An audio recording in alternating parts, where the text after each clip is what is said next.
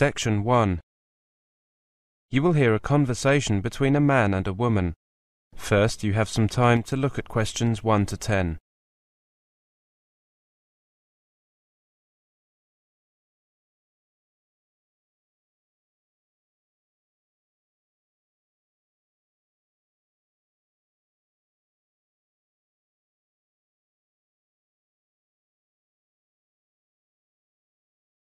Now listen carefully and answer questions 1 to 10.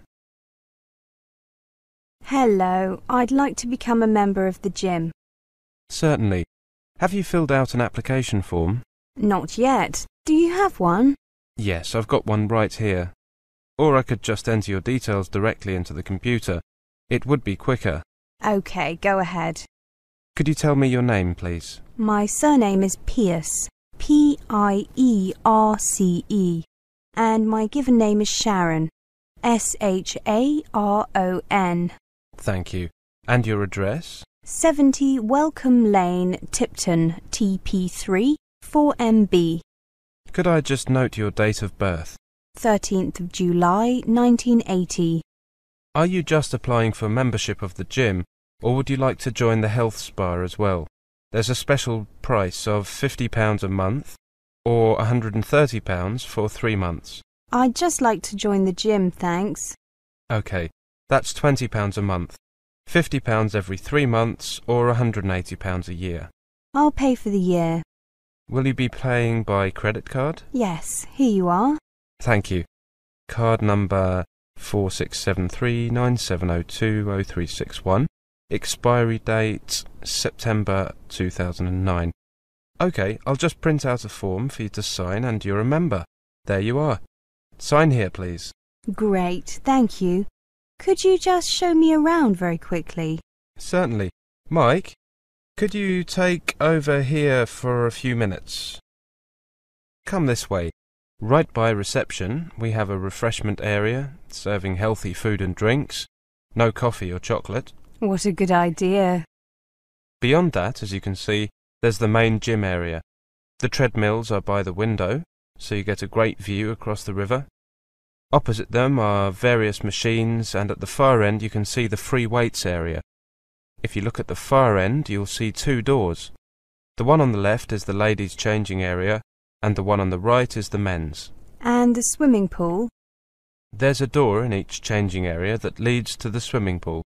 The health spa is upstairs, isn't it? Yes, there's a flight of stairs leading from each changing room to the spa area. Oh, I forgot to mention that there's a sauna beside each changing area. Our members love using those after a workout. How many members are there? About 300 people, of which 200 are members of both the gym and health spa. Only about half of those people come regularly. Does it ever get crowded? It can get a little cramped at the weekends and occasionally in the evenings during the week. A lot of people like to use the treadmills. There are no rules about how long you can use a particular machine, but we ask people to be considerate. The swimming pool rarely gets crowded.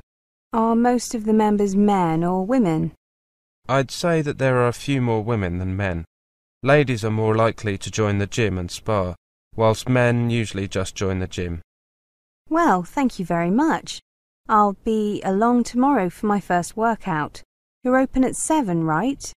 Yes, we're open from 7 in the morning to 10 in the evening. See you tomorrow. That is the end of section 1. You now have half a minute to check your answers.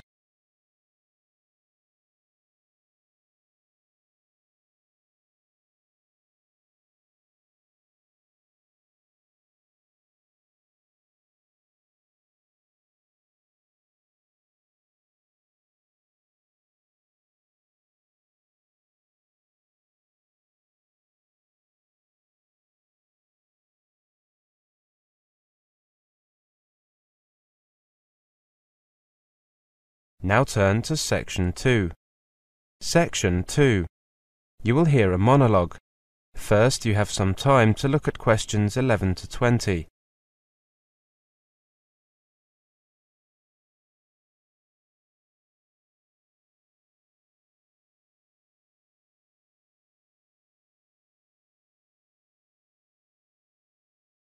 Now listen carefully and answer questions 11 to 20. We understand the importance accommodation plays in student life, which is why we aim to provide you with not only the best possible range and standard of housing, but also advice and assistance on the whole accommodation process. With our help, you should find yourself somewhere you want to live and get settled in with as little hassle as possible. Throughout the guide that I have just handed out, you will find details of the wide range of accommodation available at the university and how you can apply for it. We hope that the information we provide will assist you to make your choices, but please contact us at any time if you have any questions. Our accommodation ranges from the catered to the self-catered, the modern to the traditional, and is based over 25 sites across the city, all of which are located within a short walk or bus ride of the city centre. First, let's look at catered accommodation. Moving away from home for the first time can be as scary as it is exciting. Our traditional catered accommodation makes things easier for you, with meals included in the rent and a comprehensive support network to help you adjust and with around 2,000 students in catered accommodation, you'll have ample opportunity to make new friends. If you like choosing what and when to eat, self-catering will be ideal. More than half of our new students live in self-catered accommodation, which offers a taste of real independence, plus the benefits of a sociable and supportive environment. You can choose from either self-catering flats, larger occupancy residences, or university managed accommodation for one person, flats, couples, or families. Then there's private accommodation. University accommodation isn't for everyone. If for some reason you don't get a place or would prefer to rent privately, we also have a register of university approved accommodation and can offer advice and support if you want to rent private flats or lodgings in the city. Now, here you can see a map of the university accommodation nearest to the campus. Malvern Halls are located on Humber Road, between Severn Road and Thames Road. This is the tallest halls of residence, being a 25-storey block of student flats.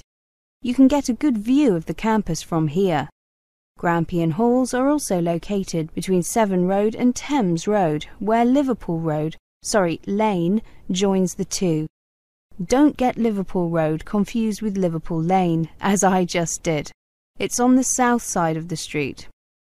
Brecon Halls are between the south gate and the west gate. They're very slightly nearer the west gate, actually. These halls are popular because they are newer and the rooms are somewhat larger than in older halls. Sperrin Halls are nearest to the north gate, uh, south gate, on Avon Road, but not opposite it. Well, whichever type of accommodation you go for, I hope it suits you. Now, I'd like to mention. That is the end of section two. You now have half a minute to check your answers.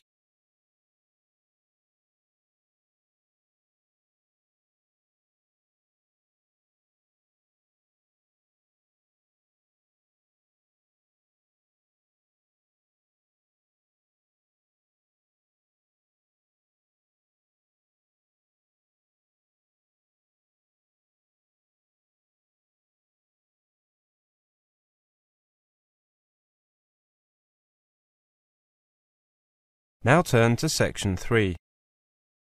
Section 3. You will hear a conversation.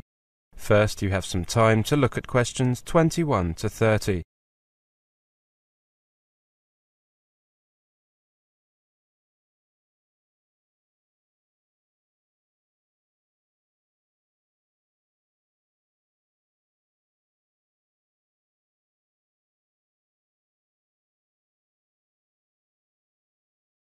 Now listen carefully and answer questions 21 to 30.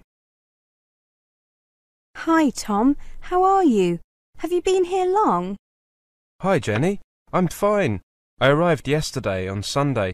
How about you? I got here last week on Wednesday. No, sorry, just a minute. What day is it today? Thursday, not Wednesday. Why did you come so early? We don't have to be here until tomorrow. Couldn't wait to be free from your parents, I bet. Very funny.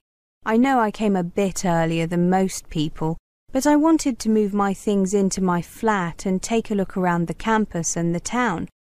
So, did you decide to take English literature in the end? No, I changed my mind and decided on European history instead. At school, you said you were going to take geography, right? Yes, although I was also considering geology. Sounds the same to me. Well, I guess there are similarities, but they're not quite the same. What kind of information have you been given about your courses? Well, not much. I've got my timetable and a basic reading list. Yeah, me too. I've been given a list of books to start reading. I think there are five or six of them. Yeah, I've got a similar list. They're just books that provide the basics for the courses during the first year. So, what's your timetable like? I get Wednesday and Friday afternoons off, but the rest of the days are fairly full. Me too. Do your lectures and seminars start next week too? Yes, I think everyone's do. This week is just orientation, isn't it? That's what I gathered. My first class on Monday morning is, wait for it, oh, modern British history. I'm looking forward to that. How about you? Hmm, human geography, also on Monday morning. It says here that the title of the first lecture is The Victorian Legacy. Sounds good. How about you? I've got global population distribution. Intriguing. Where are you living? I got a place in the halls of residence at Wish Lane Hall. Wish, as in make a wish. Funny name, eh? I'm at Bridge Road halls of residence. That's very close to the university campus, isn't it? My place is a bit further away. Can you walk, or do you need to take a bus? Um, I can walk, but it takes about 30 minutes. There's a bus. I guess I'll walk if it's not a bad day, and take the bus if it's raining. I'll think of you when I'm taking the five minute walk from my hall to the lecture theatre. I'm sure you will. At least I've got somewhere to stay if I don't want to walk home. Cheeky. Is your hall near the main gate or the north gate? The North Gate. Hey, I'm on my way to the shops. Coming? Sure. What are you going to buy? Food? Well, I might pick up a few things, but I was really going to buy some notebooks for taking lecture notes, seminar notes, and some printer paper. That's a good idea. I need a few binders to put my notes in. That's a good idea. I'll get a couple too. Pencils? No, I've got a few. Oh, some pens. I always seem to lose them. Well, you've been here the longest. Where do we go? There's a shop here on campus near the main gate. There's a cafe next door, so we can stop there too if you like. Great idea. I could do with a coffee and a cake. That is the end of section three. You now have half a minute to check your answers.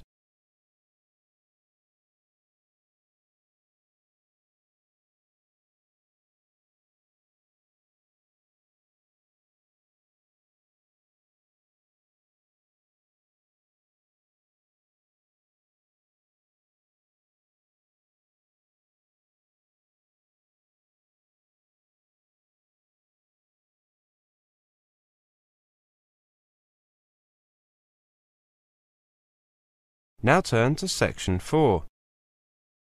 Section 4. You will hear a presentation. First you have some time to look at questions 31 to 40.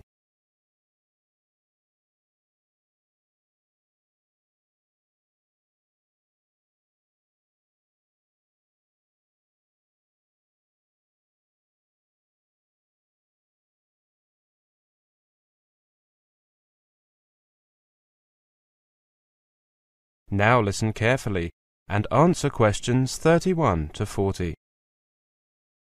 Welcome to this presentation on the results of our survey of Asian students in Australia, the UK and the US. Australia is growing in popularity among Asian students, while the UK and the US are losing ground as the place to study for a degree, according to our international survey. Our research is based on the views of 1,500 undergraduates from 10 Asian countries studying in Britain, the USA, and Australia. 60% of the students were aged between 18 and 21, and 30% were between 22 and 25. Four in ten students cited a better quality of education as their main reason for studying away from their home country. About 27% said they were doing it to broaden their experience and because they were attracted by the cultural experience of living in a foreign country. Business, commerce, and marketing are still by far the most dominant field of study, attracting almost two fifths of students. Three quarters of Asian students polled in Australia said it was their first choice, compared to less than half when we conducted the same survey in the year 2000. From an Australian perspective, it's very positive because more and more students are consciously choosing Australia rather than it being a second choice. The UK and American parts of the survey show that they are no longer the preferred destinations they were, despite still being seen as offering the best education in the world. Australian universities have done a really good job of promoting Australia as well as their own universities. Australia is seen as good value for money and is attracting the more price-sensitive students. Australia's overseas students' enrolments have doubled since the year 2000 to 200,000 in 2006, at a time when they have declined in the US and the UK's share of the global market is declining. Reflecting this increase, Australia's education exports rose 17.8% last year, and were valued at more than $5 billion for the first nine months of 2006. In the United States, a clampdown on foreign students following the terrorist attacks on September the 11th has made many Asian students feel unwelcome. As a result, applications to American universities have declined. This could happen in the UK. If students find it hard to get visas, they could question whether the country really wanted them. Another factor in Australia's growing popularity was the wish of some members of the growing Asian middle class to settle in the country after studying there. The cost of study and value for money also featured highly on the list of reasons students gave for choosing Australia as a study destination. Much higher than in Britain. 34% said they selected Australia because they thought living expenses were relatively less expensive and 20% made their decision because tuition fees were cheaper. Quality remained the biggest drawcard for students wanting to study in Australia, reinforcing the critical importance of its reputation overseas, according to new research. Asian students still ranked the US and Britain as having the highest quality universities, but Australia rated third, but ahead of other destinations like Canada, New Zealand, and Germany.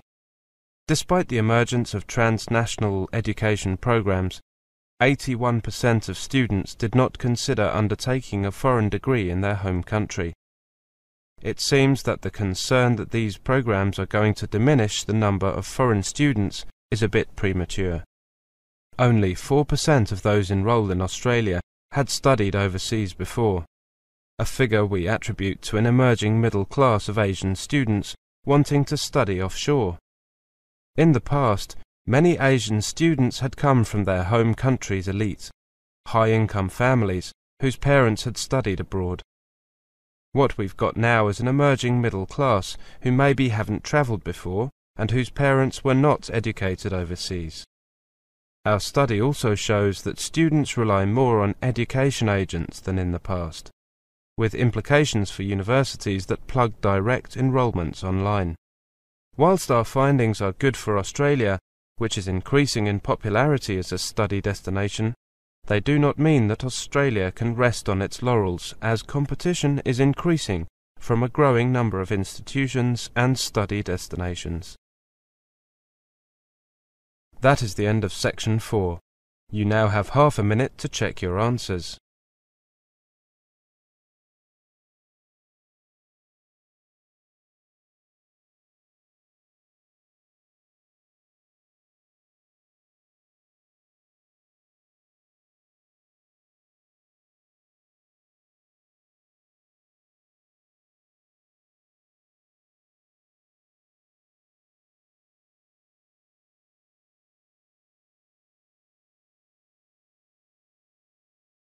That is the end of the listening test, the IELTS test. You now have 10 minutes to transfer your answers to the listening answer sheet.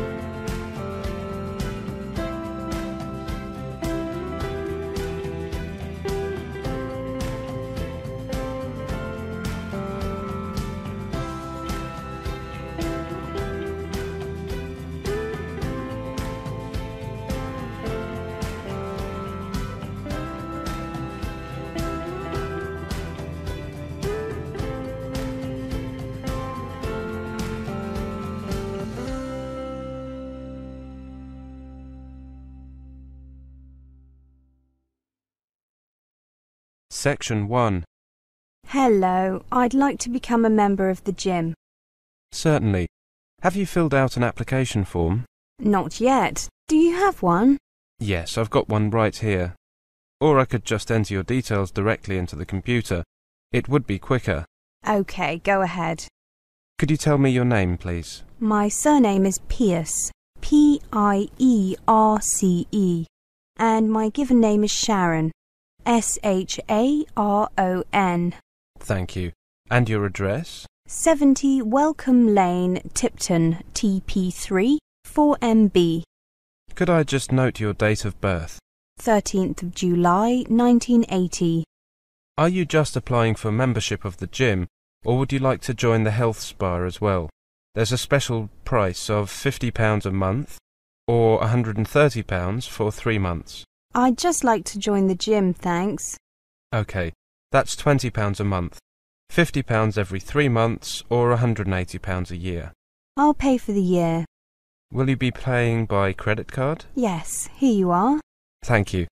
Card number 467397020361. Expiry date September 2009. OK, I'll just print out a form for you to sign and you're a member. There you are. Sign here, please. Great, thank you. Could you just show me around very quickly? Certainly.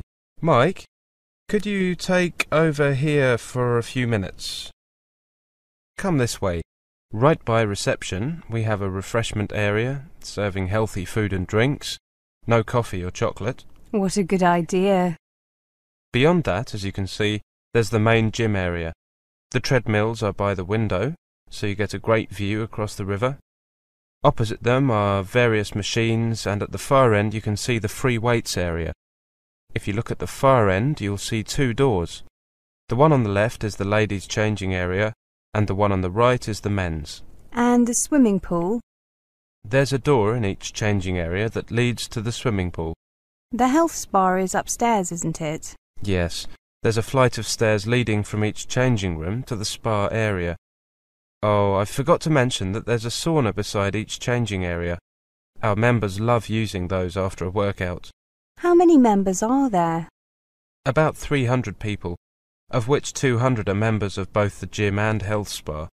Only about half of those people come regularly. Does it ever get crowded? It can get a little cramped at the weekends and occasionally in the evenings during the week. A lot of people like to use the treadmills.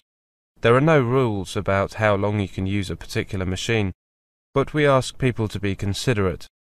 The swimming pool rarely gets crowded. Are most of the members men or women? I'd say that there are a few more women than men. Ladies are more likely to join the gym and spa, whilst men usually just join the gym. Well, thank you very much. I'll be along tomorrow for my first workout. You're open at seven, right? Yes, we're open from 7 in the morning to 10 in the evening. See you tomorrow. That is the end of section 1. Section 2.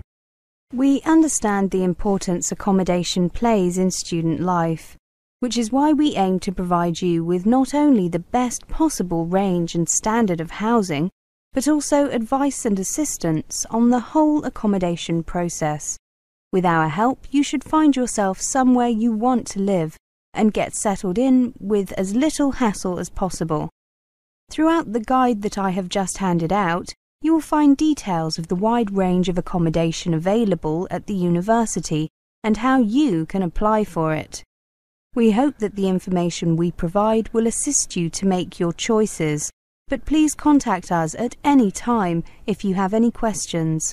Our accommodation ranges from the catered to the self-catered, the modern to the traditional, and is based over 25 sites across the city, all of which are located within a short walk or bus ride of the city centre.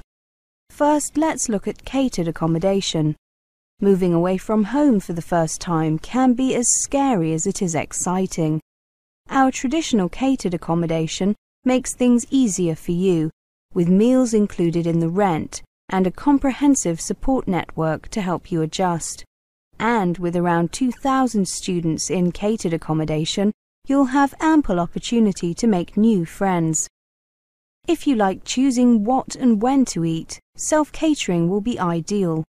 More than half of our new students live in self-catered accommodation, which offers a taste of real independence, plus the benefits of a sociable and supportive environment. You can choose from either self-catering flats, larger occupancy residences, or university managed accommodation for one person, flats, couples, or families. Then there's private accommodation. University accommodation isn't for everyone. If for some reason you don't get a place or would prefer to rent privately, we also have a register of university approved accommodation and can offer advice and support if you want to rent private flats or lodgings in the city. Now, here you can see a map of the university accommodation nearest to the campus. Malvern Halls are located on Humber Road, between Severn Road and Thames Road. This is the tallest halls of residence, being a 25-storey block of student flats. You can get a good view of the campus from here. Grampian Halls are also located between Severn Road and Thames Road, where Liverpool Road sorry, Lane, joins the two. Don't get Liverpool Road confused with Liverpool Lane, as I just did. It's on the south side of the street. Brecon Halls are between the south gate and the west gate. They're very slightly nearer the west gate, actually. These halls are popular because they are newer and the rooms are somewhat larger than in older halls. Sperrin Halls are nearest to the north gate, uh, south gate, on Avon Road, but not opposite it. Well, whichever type of accommodation you go for, I hope it suits you. Now, I'd like to mention. That is the end of section 2. Section 3. Hi, Tom. How are you? Have you been here long? Hi, Jenny. I'm fine. I arrived yesterday on Sunday. How about you? I got here last week on Wednesday. No, sorry, just a minute. What day is it today? Thursday, not Wednesday. Why did you come so early? We don't have to be here until tomorrow. Couldn't wait to be free from your parents, I bet. Very funny. I know I came a bit earlier than most people, but I wanted to move my things into my flat and take a look around the campus and the town. So, did you decide to take English literature in the end? No, I changed my mind and decided on European history instead. At school, you said you were going to take geography, right? Yes, although I was also considering geology. Sounds the same to me. Well, I guess there are similarities, but they're not quite the same. What kind of information have you been given about your courses? Well, not much. I've got my timetable and a basic reading list. Yeah, me too. I've been given a list of books to start reading. I think there are five or six of them. Yeah, I've got a similar list. They're just books that provide the basics for the courses during the first year. So, what's your timetable like? I get Wednesday and Friday afternoons off, but the rest of the days are fairly full. Me too. Do your lectures and seminars start next week too? Yes, I think everyone's do. This week is just orientation, isn't it? That's what I gathered. My first class on Monday morning is, wait for it, oh, modern British history. I'm looking forward to that. How about you? Hmm, human geography, also on Monday morning. It says here that the title of the first lecture is The Victorian Legacy. Sounds good. How about you?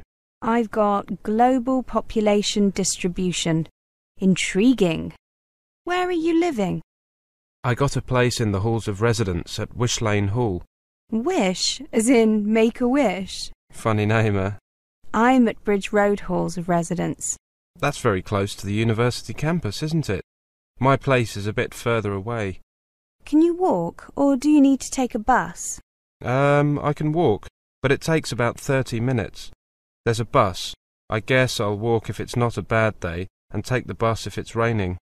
I'll think of you when I'm taking the five minute walk from my hall to the lecture theatre.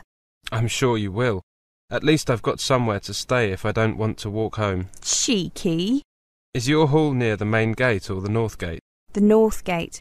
Hey, I'm on my way to the shops. Coming? Sure. What are you going to buy? Food? Well, I might pick up a few things, but I was really going to buy some notebooks for taking lecture notes, seminar notes, and some printer paper. That's a good idea. I need a few binders to put my notes in. That's a good idea. I'll get a couple too. Pencils? No, I've got a few. Oh, some pens. I always seem to lose them. Well, you've been here the longest. Where do we go? There's a shop here on campus near the main gate. There's a cafe next door, so we can stop there too if you like. Great idea. I could do with a coffee and a cake. That is the end of section 3. Section 4. Welcome to this presentation on the results of our survey of Asian students in Australia, the UK and the US. Australia is growing in popularity among Asian students, while the UK and the US are losing ground as the place to study for a degree, according to our international survey. Our research is based on the views of 1,500 undergraduates from 10 Asian countries studying in Britain, the USA, and Australia. 60% of the students were aged between 18 and 21, and 30% were between 22 and 25. 4 in 10 students cited a better quality of education as their main reason for studying away from their home country. About 27% said they were doing it to broaden their experience and because they were attracted by the cultural experience of living in a foreign country. Business, commerce, and marketing are still by far the most dominant field of study, attracting almost two fifths of students. Three quarters of Asian students polled in Australia said it was their first choice, compared to less than half when we conducted the same survey in the year 2000. From an Australian perspective, it's very positive because more and more students are consciously choosing Australia rather than it being a second choice. The UK and American parts of the survey show that they are no longer the preferred destinations they were, despite still being seen as offering the best education in the world.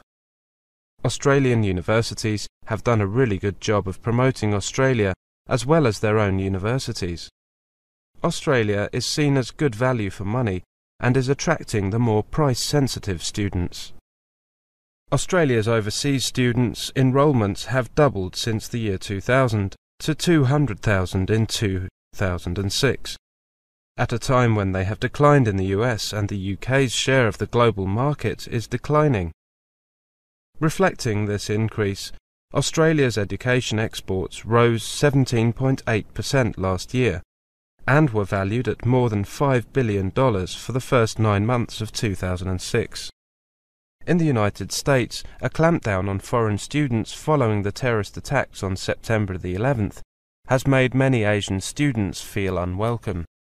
As a result, applications to American universities have declined. This could happen in the UK.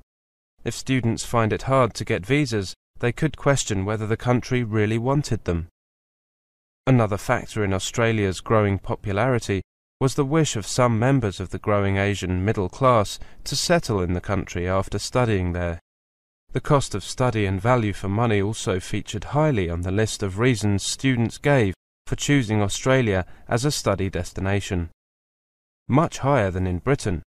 34% said they selected Australia because they thought living expenses were relatively less expensive and 20% made their decision because tuition fees were cheaper. Quality remained the biggest drawcard for students wanting to study in Australia, reinforcing the critical importance of its reputation overseas, according to new research.